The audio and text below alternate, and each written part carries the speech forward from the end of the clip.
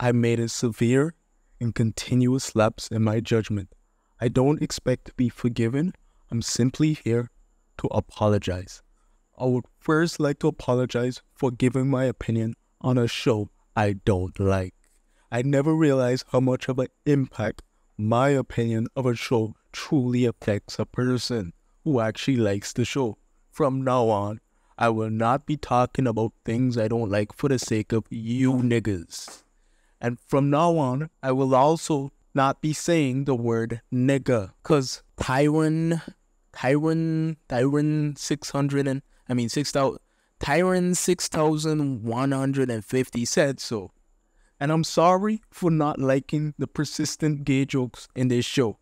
I never knew that being uncomfortable with the gay jokes means you hate gay people. So from now on, I'll be forcing myself to watch gay shit until I'm comfortable with it. So I could stop being the bigoted little coon.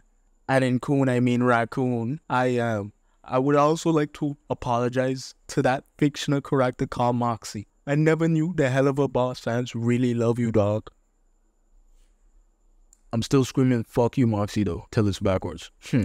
In all seriousness though, I honestly never expect the hate I got from that Helluva Boss video I made a few days ago. I never know there was a hardcore fanbase for this shit. All of them was accusing me of being a homophobe just because I said the persistent gay jokes make me uncomfortable. There was even a nigga saying I should get a strike for saying the n-word. They really out here revoking my n-word pass. Can't have shit in Detroit. There were even people dropping paragraphs on me, but TikTok kinda fucked up my attention span so I ain't reading all that. There was some fair comments telling me if I don't like the show I shouldn't watch it, but how would I ever know if I like it or hate it if I don't watch it?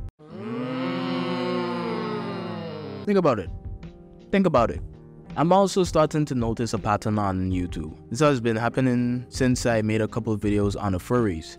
Every time I make a video on a certain online group, when the video is about to pick up in views, I get wrongfully hit with an age restriction, completely killing any potential growth on the video. Happened to both furry videos I made. Now it just happened to the Helluva Boss video I made. I have two theories on why this happens. It's either the angry fan mass reporting my videos or there is a YouTube moderator that's fucking with me. Either way it is, I challenge the Helluva Boss fans, the furries, and the YouTube mods that are fucking with me to a boxing match. Let me give you a little sneak peek of what I have to offer.